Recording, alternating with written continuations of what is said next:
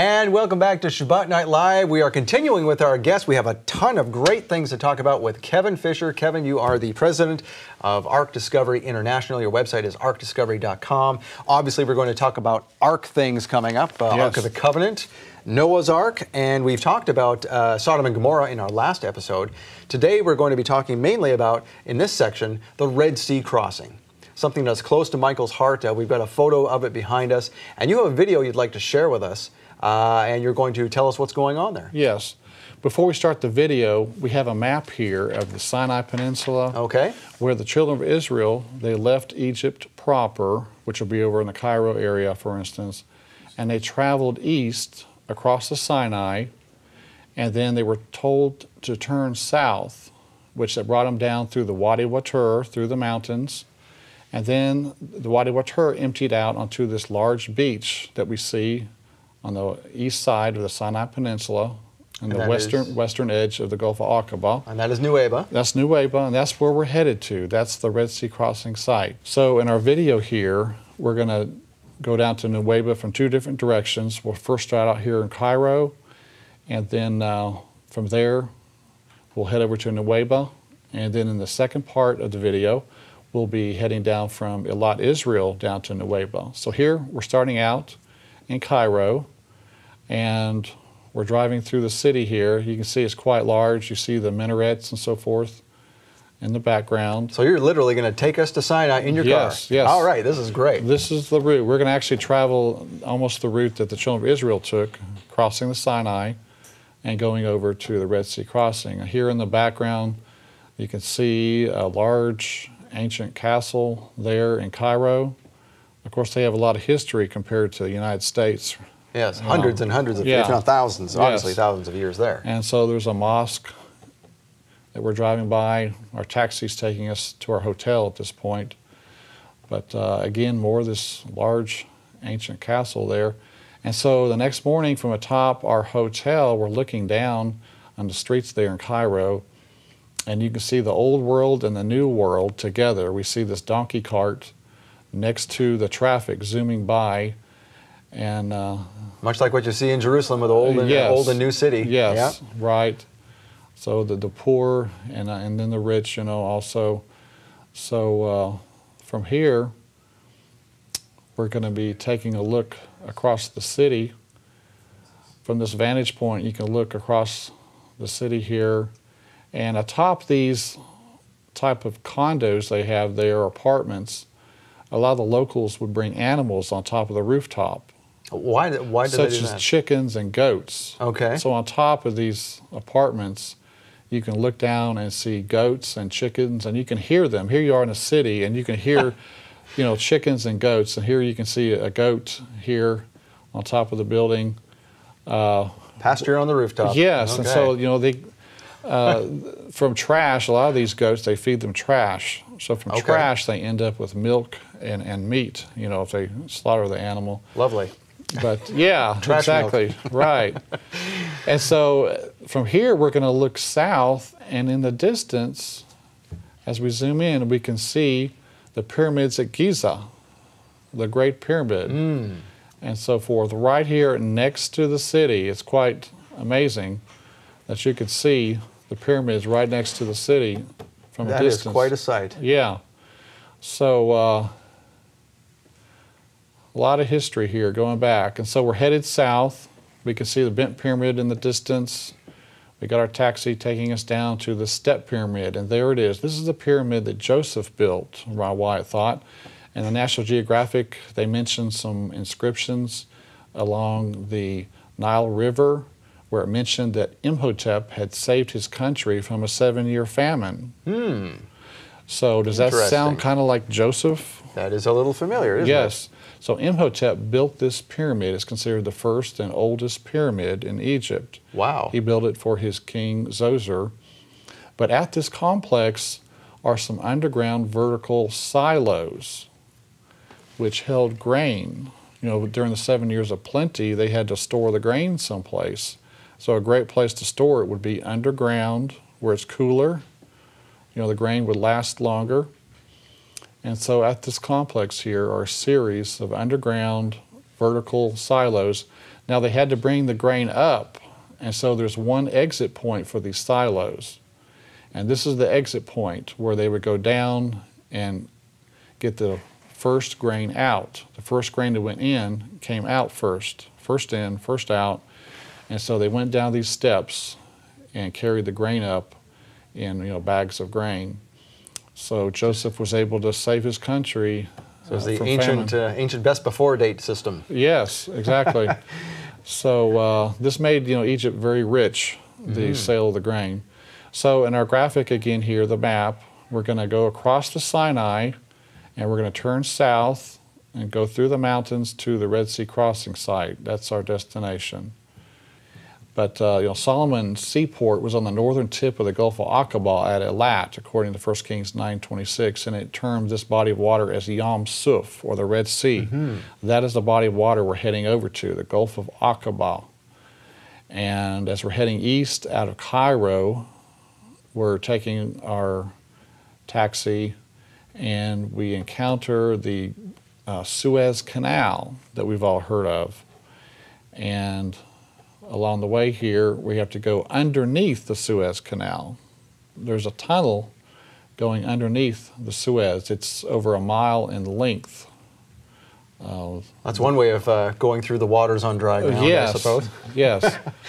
So uh, our driver's taking us through the tunnel here, and we've got an abbreviated video segment of it as we enter. And it's a quite nice, but it is a small, you know, two-lane tunnel. But then we come out the other side after driving over a mile, and we have just left Africa, and we're now in Asia, and we're going to go across the Sinai Peninsula, similar to the route that the children of Israel took. And Albeit not on asphalt. Oh, but, yes, right. Along the way, we saw this truck in front of us that said, I love Jesus. Of course, we're in a Muslim country, but uh, we thought that was interesting. That's very gutsy Uh, yeah, right, right. And so we went through some checkpoints on the way, going through.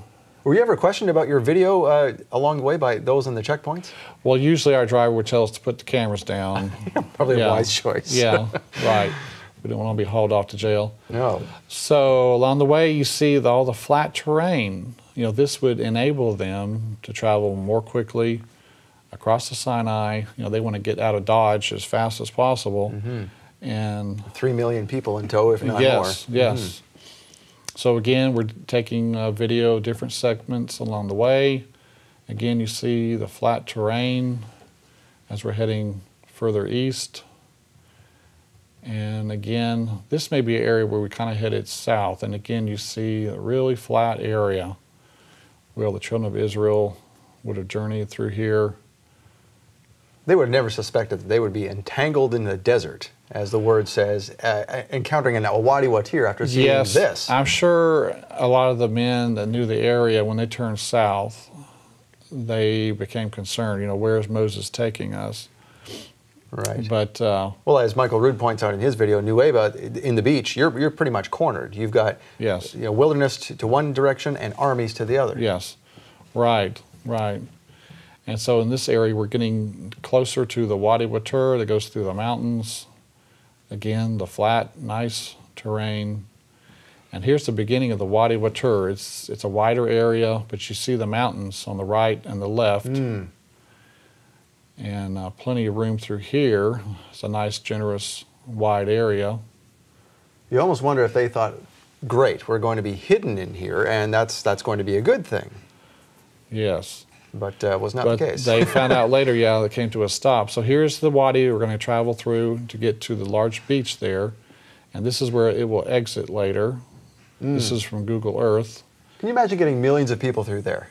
That would have been a feat in It itself. became tight at some point, but in the distance, we see the mountain we'll head to later in our next segment, Mount Sinai over in Saudi Arabia. But uh, you can see the orientation of the crossing site to the Mount Sinai in this graphic here. So here we are, we're going through the Wadi Watir. We see the mountains. This is a nice wide area that we stopped. and it's still fairly passable here. Yes, Does not look like a threat at all. right. But as it gets narrow, we can see here it's much narrower. and things were a bit congested. And there is nothing there. I mean, no wonder they were concerned. There's no food, there's no water, Yes. just a bunch of rock. And Right. so, And you can't go, you can't take your wagons over top of these mountains here. No. Look how steep this is. we have to remember there's no asphalt in that day. I mean, there's no smooth road. They're feeling every mm. bump. They're Yes. likely twisting ankles trying to get away Yeah, so fast. Exactly. And so, winding our way through this narrow area, it gets more and more narrow. Here we make a turn through a narrow spot. And I think we may pan up at some point, and you can see how steep these large mountains are. So it says in Exodus 14, they're entangled in the land, the wilderness hath shut them in. So Exodus is telling us they're going through the Wadi Watir, they feel all shut in, they're entangled, you know, they're winding their way through these narrow mountains. And Yeah, for those who argue a different crossing point, that verse would not make sense. Right. Where are they going to be literally entangled? yes, and you can see how steep it is. Very steep there. We we shot up there. And again, very narrow. You're not going to go over top of these mountains. But Josephus said, For there was on each side a ridge of mountains that terminated at the sea, which were impassable by reason of their roughness and obstructed their flight. So again, he is agreeing with what the Bible is saying about the mountains. And even with more detail that would further that it's prove. terminating at the sea. And here we're getting closer to the exit point, closer to the beach where they'll come to a stop. In the distance are the end of the mountains. And this is the end of the Wadi Watir. You can see here where it's washed out recently. Hmm. Now, had you wondered as you were approaching this, where did that fire come down and separate the Egyptians from we the will see evidence of it. Really? Yes, we will show that to you. So here we're getting closer to the exit point of the wadi. In the distance is the beach, and past that we can see in the distance now the water of the Gulf of Aqaba. Now, there's something on that beach uh, modern, is there not? There's some kind of, there's some buildings there. There is, and we'll see that, yes. So there's the wadi we traveled through. We're now at the beach at Nuweiba. And now we're going to show you the second way to get to the beach, and this would be from Israel. If you, here's a lot, it's Saturday evening, the day is eve, is ending, and the next morning we're going to head out through the Israeli exit point and then go over into the Egyptian border station here. And so the, the, the Taba Gateway, and we had our driver waiting for us, ready to take us. We're heading south about 50 miles, heading down to Nuweiba. And This is the Israeli way. this is from Israel, yes. Okay. You can get to it from Israel. And on the left, we can see the waters of the Gulf of Aqaba. So I'm here in the back seat. We see the water Oh, there it is there, yeah. on the left, the Gulf of Aqaba. That is the Yam Suf or Red Sea, spoken of in the Bible. There is the Pharaoh's Island, built in the 11th century by the Crusaders. I guess they were controlling movement through the area. Hmm. It's a very interesting castle. And here in Egypt, things are poorer compared to Israel, but a lot of vacant buildings, a lot of unemployed. But we're continuing to head south. Now, when was this video shot? Uh, This was November of 2016. Okay, so this is after all the unrest and the Arab Spring Yes, and all the rest of it. yes. And then there's Nuweiba, jutting out into the water, five miles long, three miles across. So it's Hmm. large enough to hold three million people. That is larger than one imagines seeing the photos from the aerial view. In the background there is the Wadi Watir we came out of, emptied out onto the beach here. This is from our hotel. Hmm. And you can see the Wadi Watir right there. So this is what, uh, minus the buildings, of course, this is what the Israelites saw. Yes. When they some- looked back and saw the. Egyptians coming. Some have called this Piharoth, mouth of the hole or canyon, Hmm. which is, you know, it's a, it's a, it's a major point to make note of because you're exiting the mountains. So that may be Piharoth. And then here is sunrise the next morning. Hmm. You can see the beautiful mountains over there in Saudi Arabia and the sun coming up over the mountains. So very interesting. It's nice to be right there at the Red Sea crossing. And here we're panning across. You can see the mountains of Saudi Arabia. So that's where they are going, but they have no idea how they're going to get across. How they're Can you do it. imagine being on that beach, looking Yes. at that, saying, "Moses, what have you done?" No wonder they thought that we're yes, dead. right. But of course, Moses had full faith in God that God would do something. He didn't know exactly what. But so here we are taking a look, heading. That's a viewing to the north. Our guide wanted us to come to his house for breakfast. He had his goats out front. Oh, trusty old goats that eat the trash. and so our driver here on the left, we're here at Nuweiba. So can people go out there like you did as on a, some kind of tour, or is this just something an anomaly that you did and happened to find a driver who was willing to do it? Well, I don't know of any tours going there, you know, formal tours, but it's mainly individuals that are going. We had to go through like six checkpoints to get to the spot. Uh, So you've got to be dedicated. You've got to Yeah. have a reason for going out yes. And there's so much uh, military there on the way to the Nue- Nuweiba, it can turn off a lot of visitors, tourists, I think. Mm-hmm. And that's what one of the hotel owners said. So here, our guide was giving us some tea, and then we headed out from here. We were going to head over to the pillar that marks the spot there. Ah, okay. at Nuweiba. And you can see the poor area of town, the Bedouins living Now this this is the the pillar that has been eroded over time, not the ones that the Saudis found on the other side, which was pretty much intact. Right, this will be the Egyptian pillar we're heading toward. And uh, it was found lying in the water. Here we can see it in the distance next to the road in the center of the video. Oh, there it is erected there. Yep. Yeah. Okay. So Ron Wyatt showed it to the authorities in 1978. The Israelis were occupying the Sinai Peninsula. He showed it to them. They brought it back from the water's edge and set it up in concrete, which was very nice. So today you can go there and stand beside this pillar And that's all thanks to Ron Wyatt. yeah, Essentially. and, and Solomon, who who erected it to start with. Of course, yeah. So you know, so uh, the matching column on the Saudi Arabian side had Hebrew writing on it still when Ron found it in 1984 that said Solomon, Pharaoh, Yahweh, death, Mizraim, which means Egypt, um, water, Edom.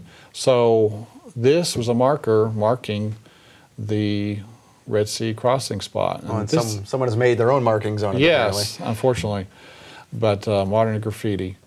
But um, Solomon Seaport, Elath, was 50 miles to the north there at modern day Elat.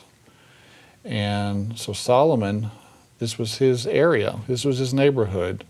And so 400 years after the fact, he had these column, columns erected to mark the spot of the Red Sea crossing. He knew full well where this event took place. So that must have been passed down from family to family. Yeah, sure. Yep. So it's a 16 foot red granite Phoenician style column. Beautiful. And there's obviously no writing on there. That's all been washed off now. The back side of it has been eroded away. It doesn't look this nice, and that's where probably some writing was. But that is that's a solid piece of granite. That's not like the Sodom and Gomorrah limestone that we saw. This is Right. It's uh, This is very solid red granite. It's very beautiful. So from here, we can get a look at where this is in relation to the water. It's set back, the water's a couple hundred yards away. And this is the beach here essentially. Yeah, this is the crossing area right here where the water actually opened up. Wow. Yes, it's amazing to stand here. Now, is there uh, a definite place on the other side that we can match up as to where Yes. from the beach? The column that was cut down in Saudi Arabia, the base of it is still there.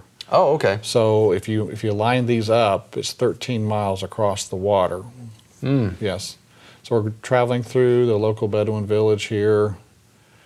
But up to the north, before we head down to the crossing site, up to the north is Migdal, or fortress, um, that is at the narrowest point where the water and mountains come together.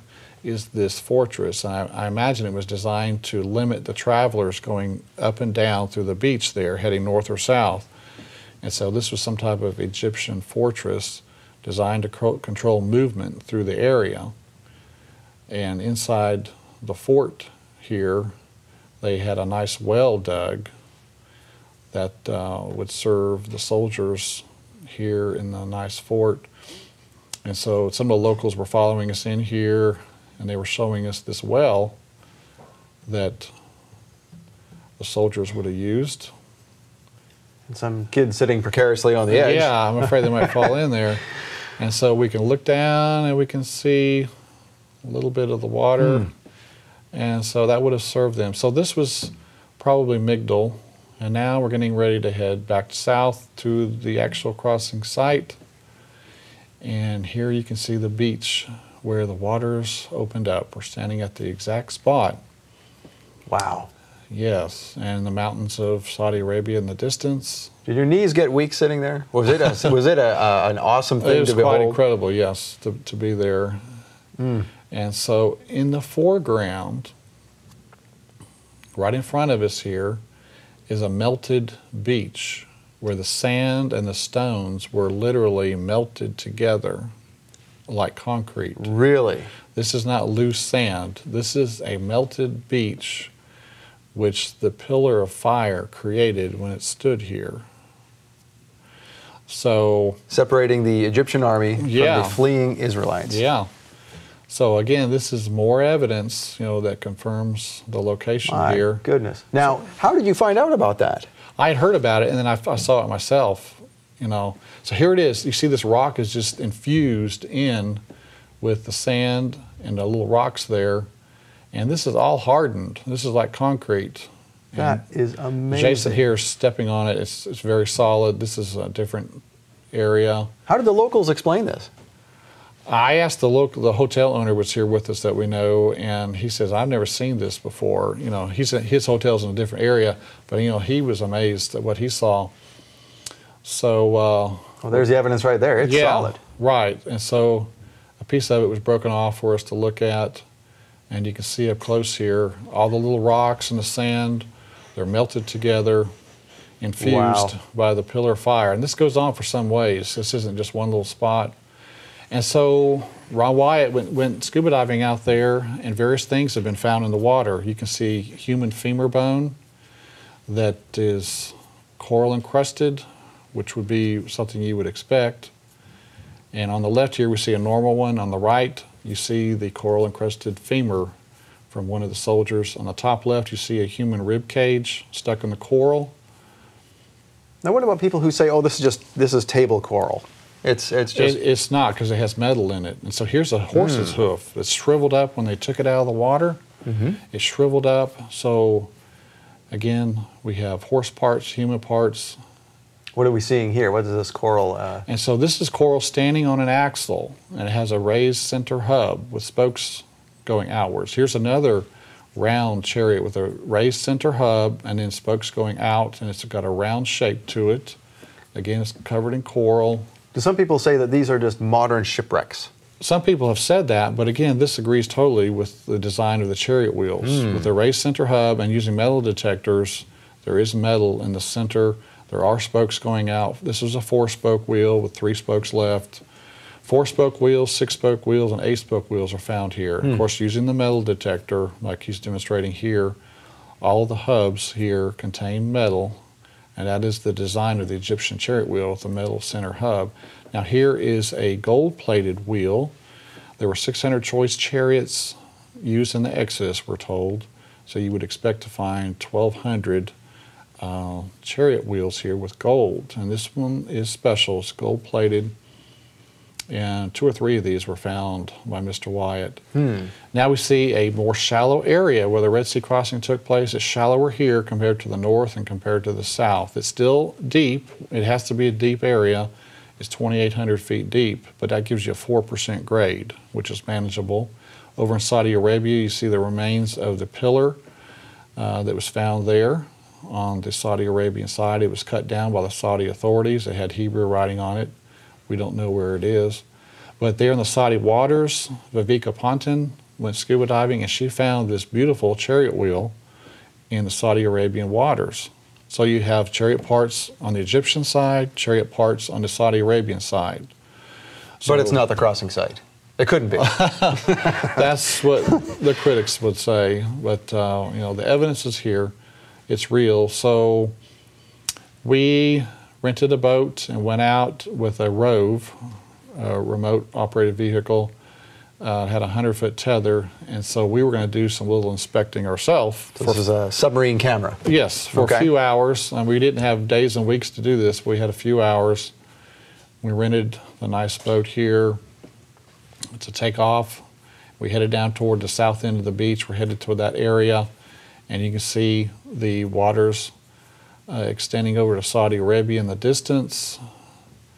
And So were you stopped by the Saudi authorities like uh, Lennart Möller was? they sometimes they do. Yeah, if they suspect you, they'll come over and see what you're up to. Mm. But uh, so now we're in the approximate area, and we're gonna we're gonna throw the drone into the water.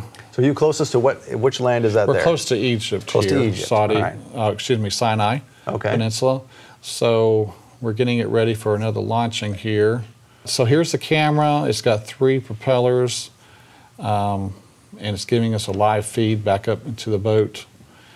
And uh, so that day we were able to see something I looked around, but we couldn't confirm that it was a chariot wheel. So here we're launching it.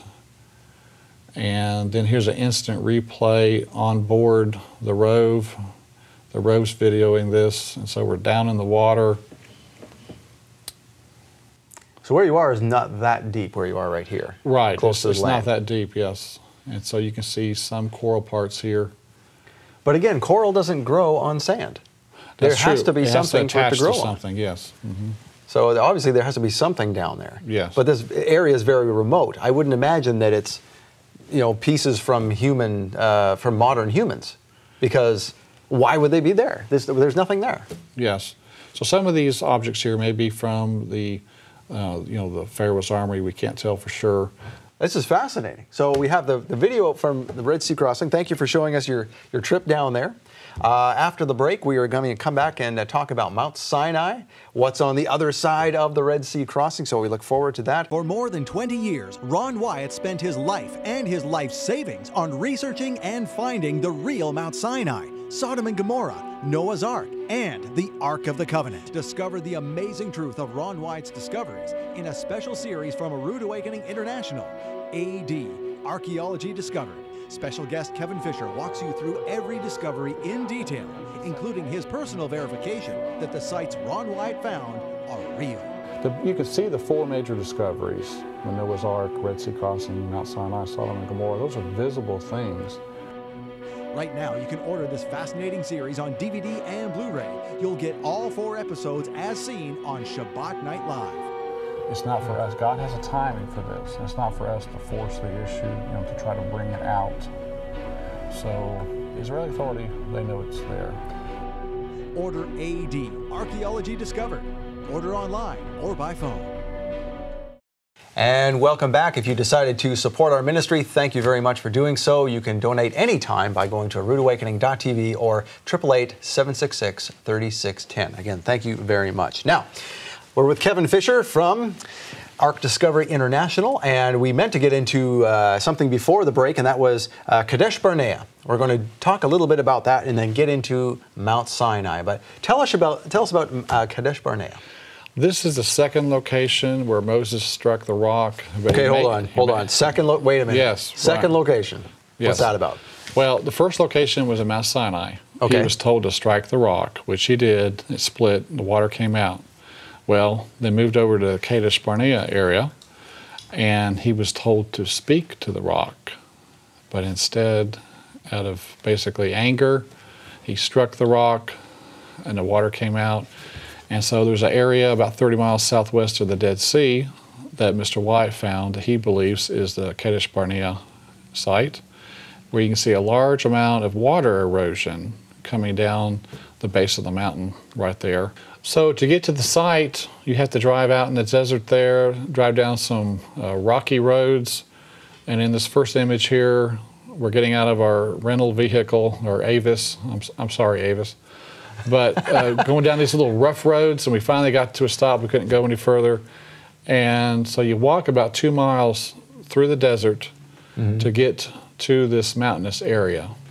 Okay. We In see the distance is the area we'll be taking a look at, but you can see it's rather flat out here. This would have been kind of the area where the children of Israel would have camped. Plenty of uh, level area here. And then uh, this is a site where the water erosion is. Uh, you can see someone standing here. Uh, to the right of this individual is the site we'll be taking a look at where there's the most water erosion. But this is the site where Moses struck the rock. Now, in the next slide here, we can see a large amount of erosion coming down the mountain. It's eroded away. Okay. This, this rock, I mean, these are large cutouts in the rock caused by a lot of water. This isn't a trickle of water, but uh, a real gully washer coming down here constantly, eroding away the rock into channels. There's actually large channels here as deep as six feet going down. And in the distance here in the left, uh, where the indivi- individuals next to the stone, that is a baffle rock stone, they call it, where it was approximately six feet deep there, the channel that was being cut out, and the children of Israel stuck this rock down in the channel to force the water out, to spread out the water, Okay. basically. Like a dam, essentially. yeah. yeah. Okay. So uh, here you can see the eroded Oh, areas. still These some are, pools there. Yeah, these are deep. Apparently, there had been a light recent rain here in, in this particular case uh, when we were there. And again, you can see more of the eroded areas Mm-hmm. of the rock, more evidence of a large amount of water creating these deep channels coming down. And here we're looking down, down the side of the rock here, more of the deep channels. So is this recognized by anyone as being this site? It's not officially recognized. Again, this Hmm. is this is one of the discoveries that's not recognized by the majority. And the next slide here, we see the deep channel, about six feet deep, where the baffle rock was Hmm. placed in here, uh, strategically placed. It's a wedge-shaped rock, forced straight down in there. And then here's the back side of it. You can see again. Oh, that is a massive stone when Yes, you see it from that angle. It's very large and it's wedged vertically Hmm. in there, you know, like it was placed uh, by the human hand in some way or another. yeah. So, uh, and just above this, we'll take a look to the right of this, but again, you can see the baffle rock and then where the water would have run downhill out into the encampment to, Hmm. To give refreshing water to the children of Israel. Now, have there been any uh, artifacts found out there, like some pottery and things? Well, Ron Wyatt did find some pottery, uh, grinding millstone Hmm. uh, out there. So artifacts have been found in this the encampment area. so regardless of what you want to believe, people did live there at yes, some point. Yes, there's evidence. Yes, and using Ron's subsurface interface radar and uh, gold detecting equipment, he did find an area where he was getting a reading for gold, where Hmm. some of the people could have been buried uh, in that encampment area. Oh, so this maybe so they wore their gold, uh, and so this is a cemetery. After they, they were buried, they, they wore their gold yes, to yes. their death. So some, Okay. yes, some were buried with their gold. So, again, this is a distant view. We can Hmm. see way out in the valley there, and just above this site, above where the baffle rock is, we can see an area. And this Hmm. spot, this is probably 40 feet from the baffle rock. And this area here, this appears to have been the area of the source of the water that was coming out. And here you can see the exact hole. It appears that water was shooting out of this hole and running downhill. Um, and you can see the water here, the rocks here have been worn smooth. But uh, so that's the Kadesh Barnea that Ron Wyatt believes is the real site of the event where, where Moses sinned. The second striking of The- the, the rock. second, A different location. Yes. Interesting. All Yeah. right. All right. Well, we're going to get into Mount Sinai now. We have another uh, interesting presentation here, uh, Kevin. So uh, tell us about Mount Sinai.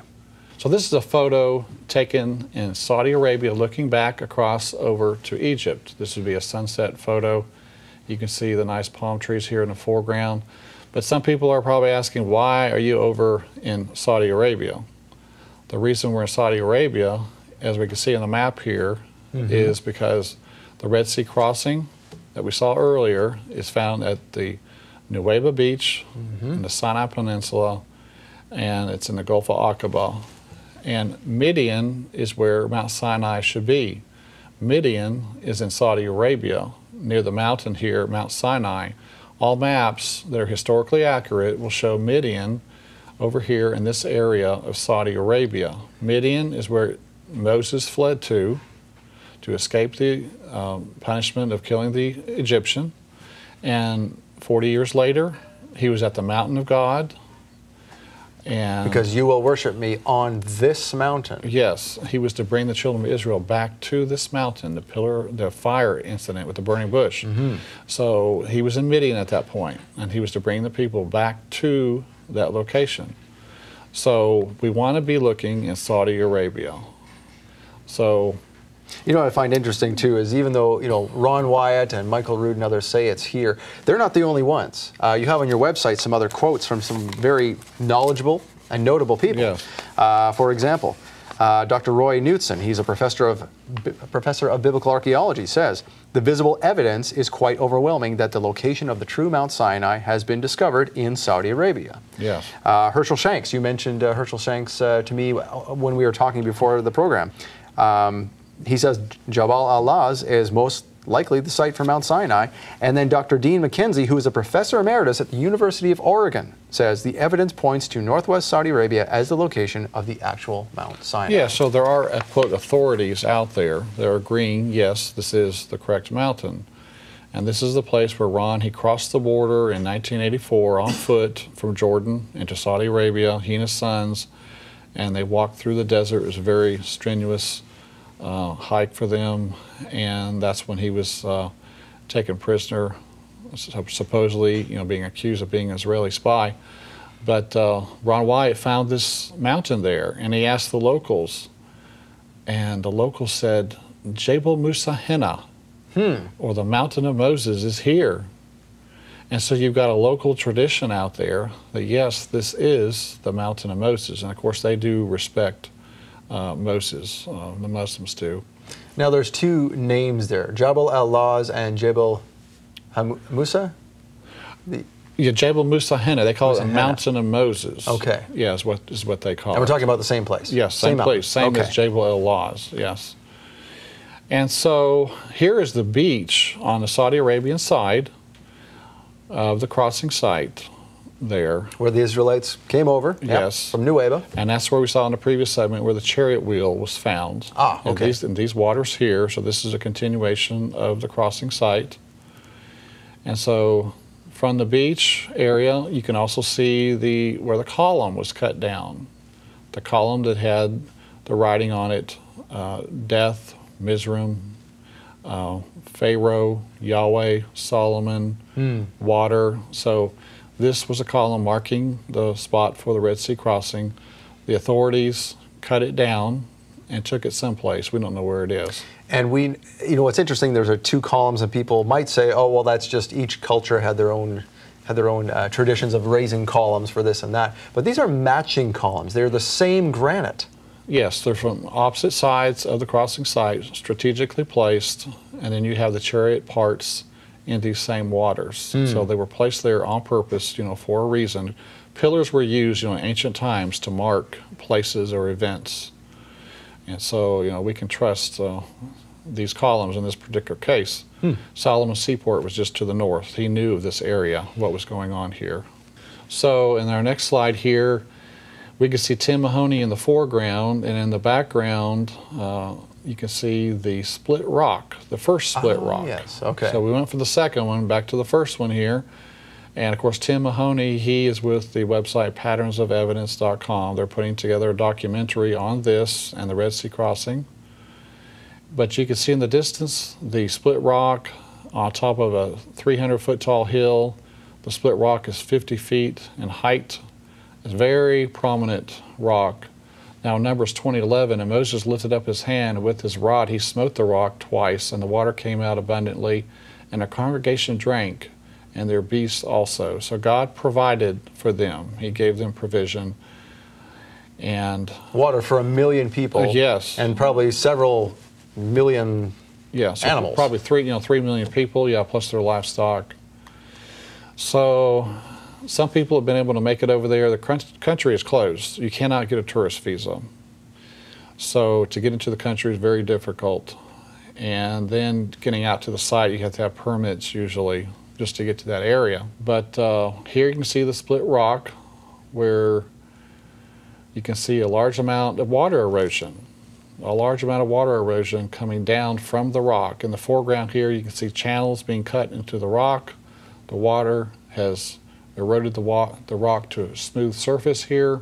And this is the rock that in modern Western times that uh, Jim and Penny Caldwell. I mean, the Bedouin have always known this is this is here, Mm-hmm. but this is where uh, ben, uh, Jim and Penny Caldwell discovered this one. Yes.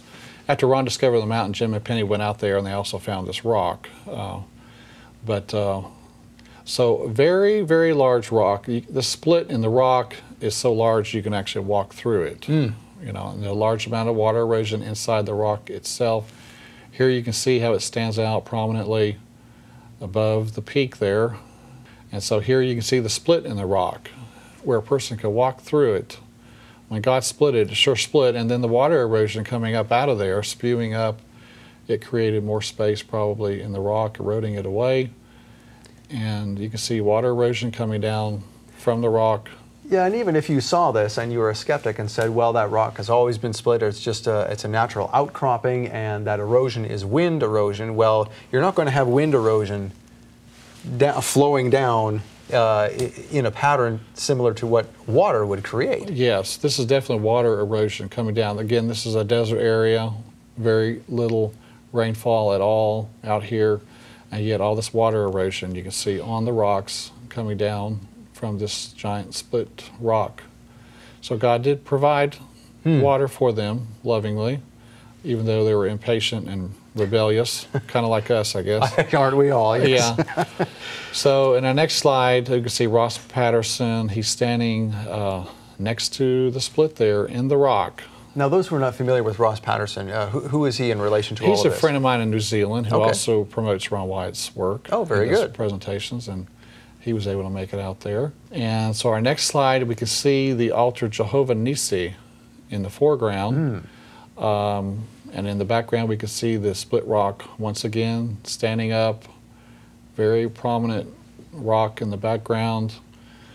And uh, So this is an altar of, some this kind mentioned here. in the Bible, Mhm. yes, this altar. So again, this is matching the biblical account once again, and there's also some circular rock formations.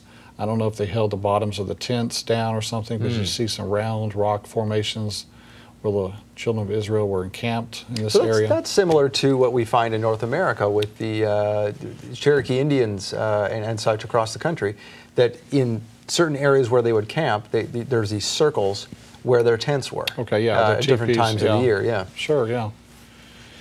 So over on the other side of the mountain is the front of Mount Sinai, and you can see in the distance the blackened peak of the mountain. Uh, once again, the Bible says that the mountain was a smoke; it was on fire, and so the mountaintop here is on is blackened. When you walk up to the top of the mountain, several people have. You turn the stone over, the top of it's black, the bottom of it is brown. Really? So there's evidence that it was burned on top, and the natural color is on the bottom and it's brown. Now that answers a question I was going to ask, and you've already answered it because I have heard a, a secondary theory that this is just a different type of rock. It's a black rock that happens to have this this uh, this line uh, right at a certain point uh, near the peak. Yeah, but that's not the case. Yeah, this is a burned mountaintop because underneath it, you know, it is brown material. So it's actually a, day hike to make it to the top of the mountain and to make it back down.